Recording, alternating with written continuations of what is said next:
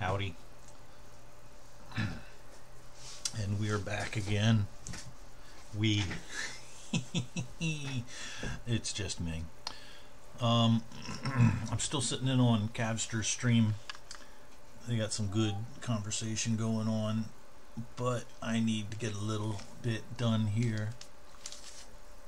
so I, I need to, I'm going to touch up my wavy line here on the um, olive drab and then I'm going to spray some clear. So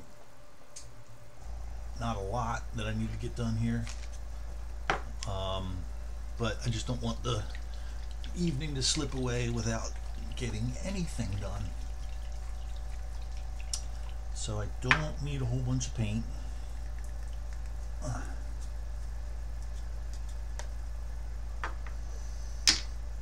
go with with the whistle. Uh, this is too low here, so I need a little bit. Yeah.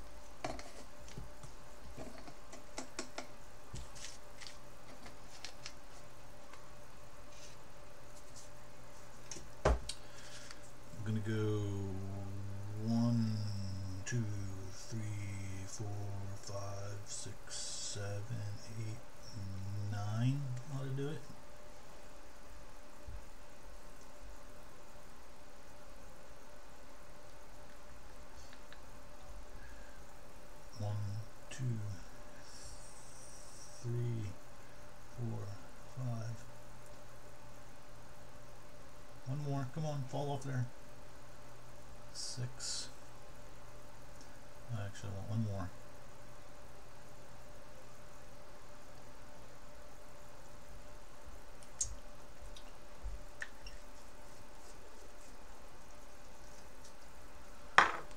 And then a little retarder.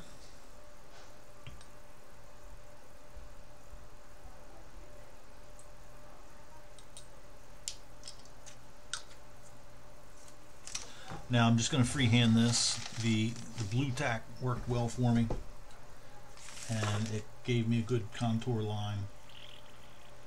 Um, but I had it rolled fairly large so that gave me quite a taper um, and I'm going to make sure that on the other side it, it matches this line so I need to bring my light here. Sorry about that on the camera.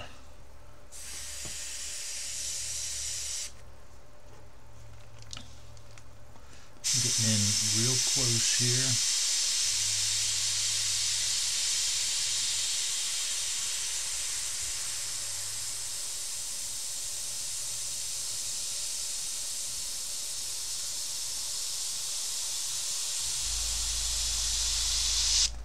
Now one thing I want to be sure of on the other side is these two points, you can't see them, but these two points are pretty even. This one peaks on that seam and this one is just behind the nose cone and touches that. And this one here, I'm going to make it touch that just behind the nose cone. Granting it doesn't need to be perfect.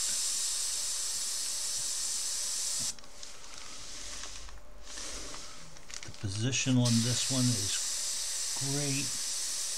Just need to crisp it up a little bit.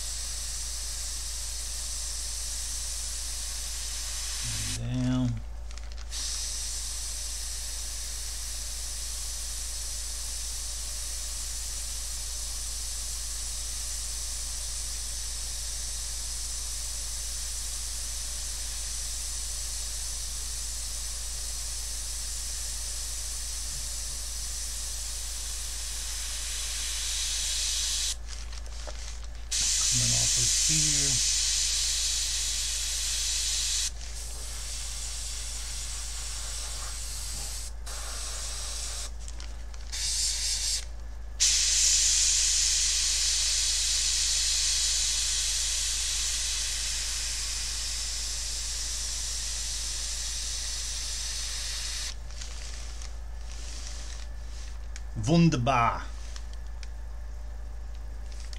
Wunderbar. I can be very pleased with that.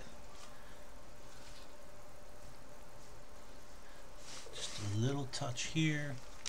And I don't have to be too particular about this because I'm going to have a little opportunity to go back and forth with the gray. So that is styling. Very pleased. And nine, nine and seven on the paint was probably twice, three times as much as I needed. So back into the brush, into the back into the pot ye go.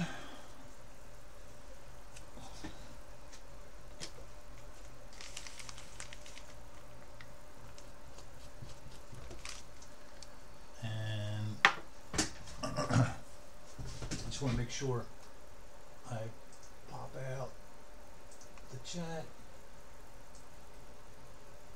so I can see if anybody messages. Like anybody gonna talk to little old me? Nope, no. You Twitch guys have been fantastic.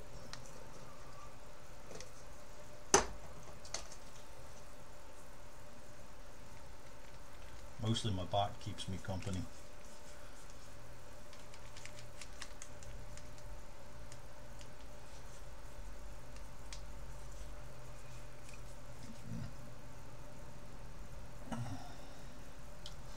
Now, before I get painting on the belly, I'm going to spray clear, seal this all in, protect it. Once I get a good coat of clear on there, I'm home free.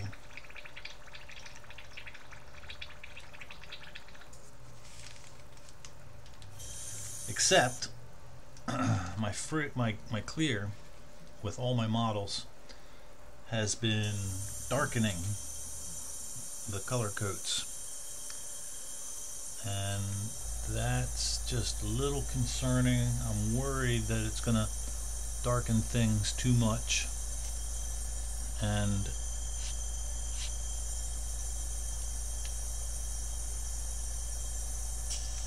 and I'm going to lose some of my subtle model, mottling coming through.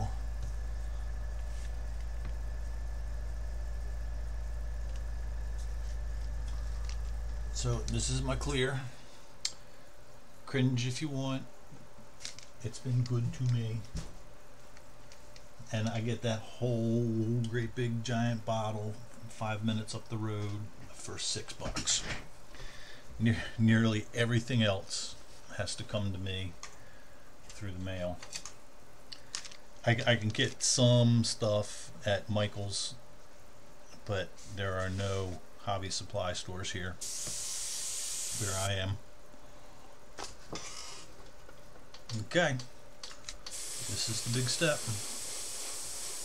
Start with a real light dusting. And then go back over it. Tend to go around the edges first.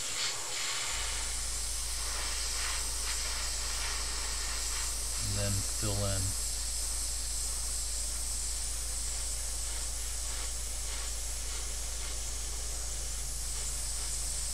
Don't want to overdo it.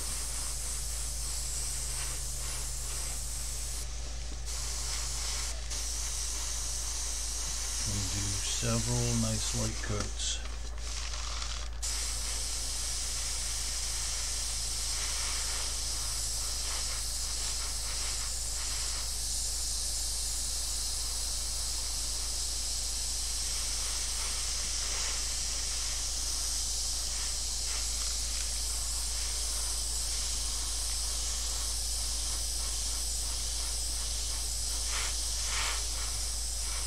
Again, following my own advice and spraying through these corners.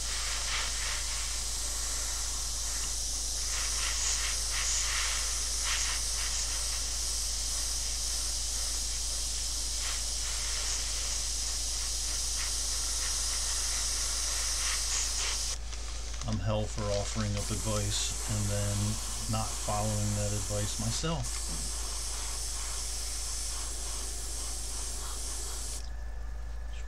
A little bit. Flip that over to get that line that I just painted.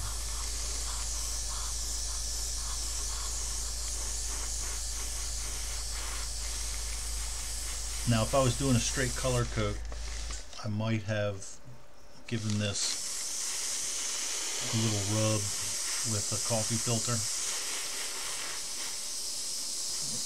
to knock down any uh, any light texture that the airbrush might have created. But I'm so pleased with the finish and the color variation that I don't even want to mess with it.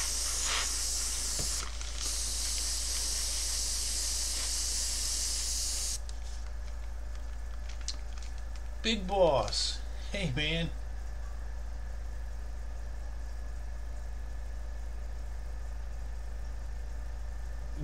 A 132, that would be awesome. I, I really, I, I see guys on uh, Twitter that are doing the 1 to 32 kits and just the level of detail is is awesome. I mean they're they strike me as long-term kits you know? Not something that you're gonna wipe out in a weekend. Something you're gonna be working at for a little while. I fill my uh, get my fill of 1 to 48 and 172 stuff I definitely want to look into doing some 1 to 32. those will probably be hanging on my wall, dangling them from the ceiling.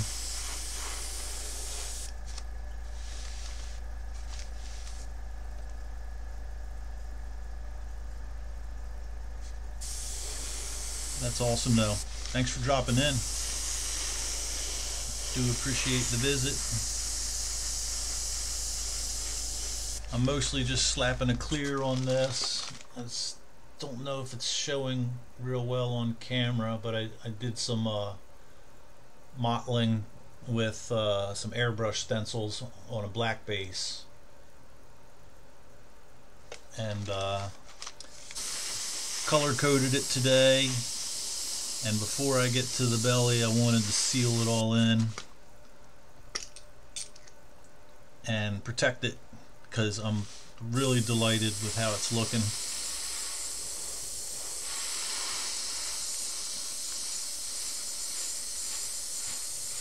I want to give it enough clear coat that I'm not going to have to hit it again before stencils. Or this puppy, I might do a lot of the weathering and washes before I do stencils. I do that occasionally. I do have to go back and weather the stencils afterward so that they tie in with the rest of the look. Um, but I'll have to make a judgment call. This kit has a fair number of real small um, stencils for, you know, no step, step here, and all that stuff like that and uh, I don't think I want those susceptible to the damage of wiping and that sort of thing because I'm gonna I'm gonna do some pretty heavy weathering and washing on this.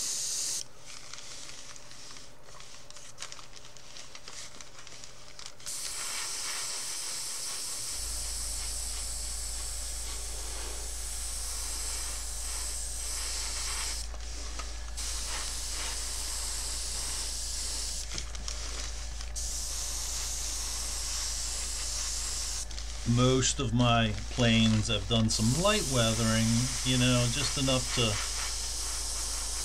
just enough to make it look like it's not off the showroom. But I think this one I'm gonna go a little crazy, really wear it down. I'm uh, I'm not doing any chipping with a chipping solution. I have a tank coming up that I really want to experiment with chipping solutions on. but I'm going to be painting a lot of paint chips with uh, chromate green yellow and um, and aluminum because the P38s they get a lot of wear in this area here from uh, boarding and disboarding the cockpit so I, I really want to go to town on that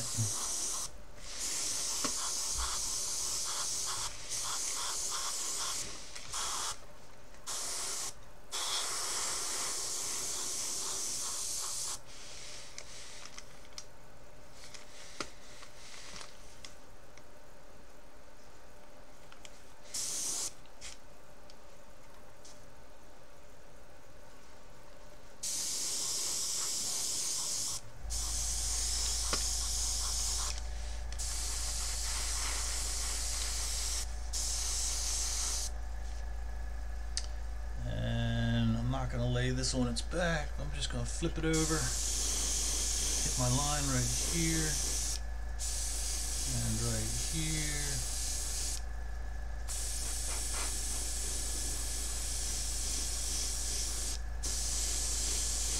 Pretty pleased how that came out. Combination of Blu Tack and and a little freehand. I I got some white Blu Tack to use for uh, masking. Um, it's first time I've used that. This kit's got a lot of firsts. First time doing uh, the the modeling mottling with uh, um, airbrush stencils. That's why I didn't want to do any chipping because I had so much new stuff going on with different techniques that I didn't want to throw chipping into the mix too.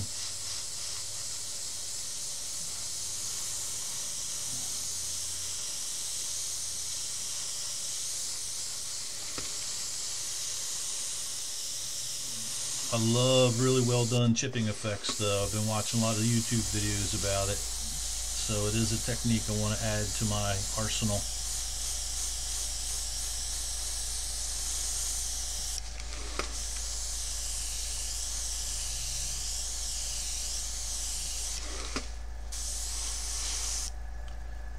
Awesome.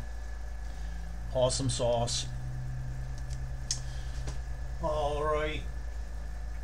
So, next up, I had a little leftover paint, so I went ahead and started spraying the vertical stabilizers. But next up is I'm going to be painting the uh, olive drab on these.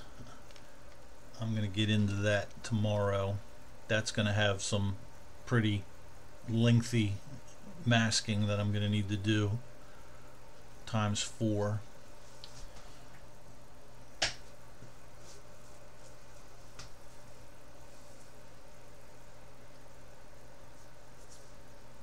Yeah, I, I, I did some asking around because I'm I'm an apprehensive motherfucker. I get an idea in my head and I got to know all about it before I can, you know, pull the trigger on it. So I was looking at Blu Tack for a while, and I was talking to guys that used it and, and stuff, and and they said, yeah, sometimes it'll leave like you know a little um, a little stain, um, you know, so so you might want to clear coat before you mask with it, so that that's less of a problem and stuff. And after you know a couple of different conversations, somebody chimed in and said, white get the Blu Tack white. It's specifically non-greasy. Um, because I guess some people put a poster up with it, hang a poster on their wall, and the the the grease in the Blu Tack leaches out of the Blu Tack and kind of puts like a little stain on the poster. And uh, um, so the white Blu Tack is specifically non-greasy and I found a two-pack bundle on um, Amazon and ordered it and it was here in two days. And it's definitely the goods. I tested it out make sure it wasn't gonna peel uh, paint. And uh, I put it on a, a, test mule and left it sit for a good long time. And you know there was no staining and it didn't leave any residue. So I was like, yeah, bud. Because I got a Spitfire coming up, and that's to have, you know, the all over traditional uh, Spitfire camo. And I'll definitely use that for that. The last Spitfire I did, um, I, I did it all freehand, and it worked out okay. It worked out really well. But my problem was, is I, I tried to take a pencil on uh, on my uh, primer and I tried to put just little tiny marks to give me indications, you know, where to follow my line. I didn't draw the line completely, and uh, and that pencil showed right through. no matter, I kept trying to paint it out and get rid of those pencil marks. You, you, you really can't see them if you don't know to look for them. Um, but I, I know right where they are, and every time I look at it, I'm like, yeah, yeah, you pencil mark. So, uh, so Blu Tack is definitely going to be my way of moving forward. So let's see, I got that tail piece. That piece I left a little bit more uh, of the mo modeling, mottling showing through, the marbling. So that, that looks good. I'm pleased with that. The wings, the far wings have a uh, fair amount. Yeah, that's showing up good on camera. Uh, um, that came through like a champ and it's a little less pronounced here but this is both sides of this are going to be all chipped up and I got a nice show through on the engine nacelles. And I am pleased. Now I gotta clean my airbrush out here. Get rid of this extra clear. Way too much, but I'm not putting it back in the bottle.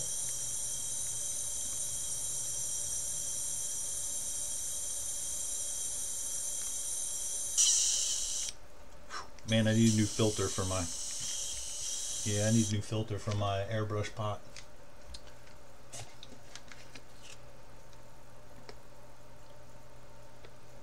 So I moved really slow on this kit. Took a long break after I put the cockpit in the uh, center nacelle. I, I, took a long break and um, I mean it was like three or four months and I came back and I tell you I'm highly enthused I am really pleased with how things are going and ex except I say that, I say that now. What I need to do next is I need to pop that nose cone off of there. Um, I, I, I glued that nose cone on there months ago with a couple tiny little dabs of uh, white glue. I mean, I tried to use tiny little dabs. So I'm hoping that thing pops open doesn't disturb any paint and I can put the guns in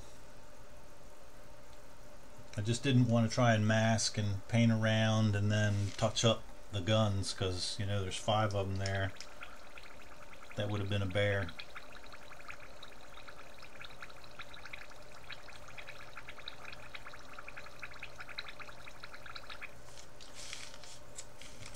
so I believe I'm going to try that. I'm hoping that thing just goes toink and pops right off of there. If it takes a big flake of paint with it, I'm going to be upset.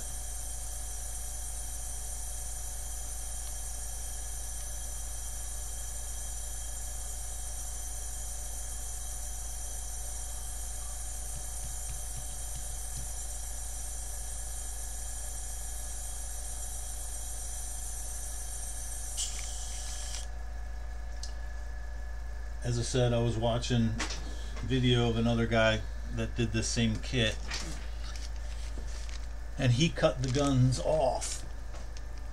Let me see. Here are the guns. He cut the guns off. They're in this. I need tweezers because I got big dumb fingers. He, he cut the guns, dog hair he cut the guns off of this and uh, installed them in that way after the fact.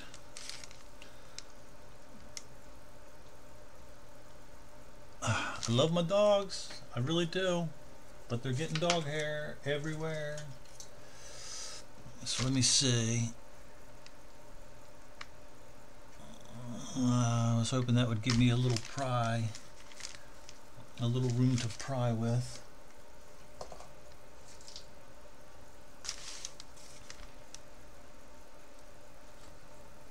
Nope.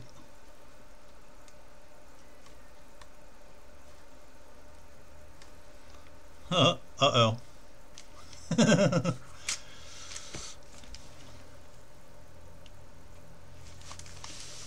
me see. There's really no opening that I can get a knife blade in there.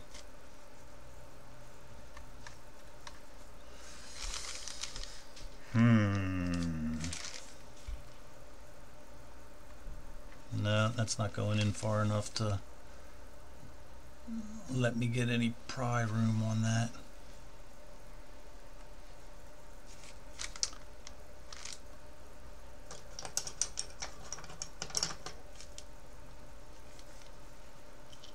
Oops. Maybe I should have realized how long this has been setting. And I should have tried to remove it before I got this far. And then retacked it with some fresh glue.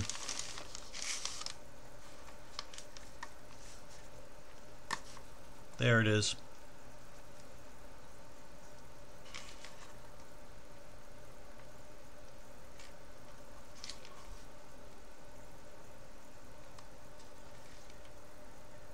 Yep, no damage.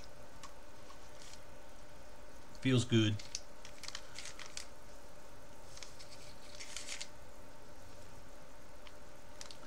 I might I might put that back on with white glue so I don't have any risk of uh, cement um, squeezing out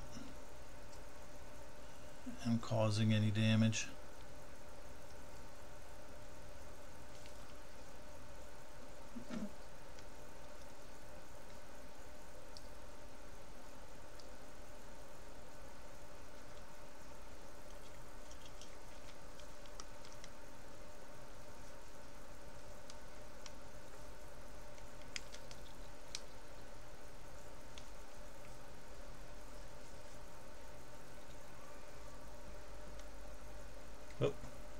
guns.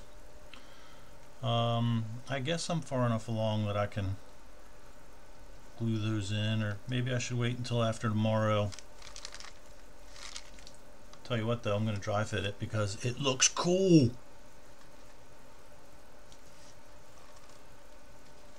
There we go.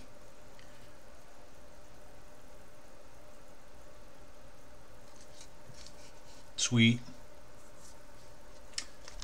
Okay, well, I've done a lot of work today. I uh, I tended to. I had a little glue whoopsie, which re really upset me. Um, and I marred the seam on one of these side booms. And last night, I last night I painted down all these seams with uh, full strength, um, full thickness primer. Just using it like a, um, you know, like a filler putty. But I used a detail brush and just went real carefully right down the seam and then sanded it off and retouched up my black base. I black based all these, um, the black, I did all these before I assembled them. Um,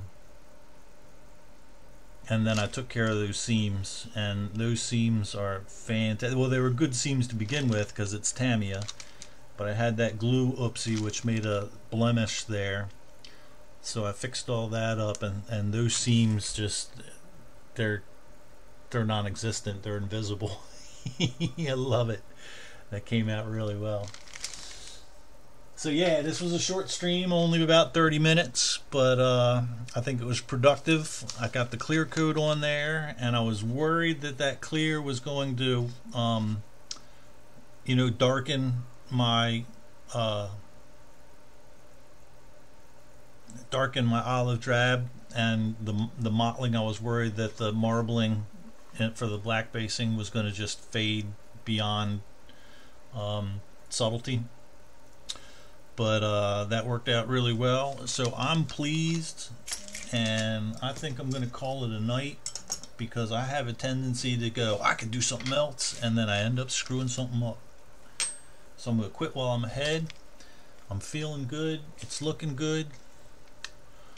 And uh, I can't wait for this to get closer to completion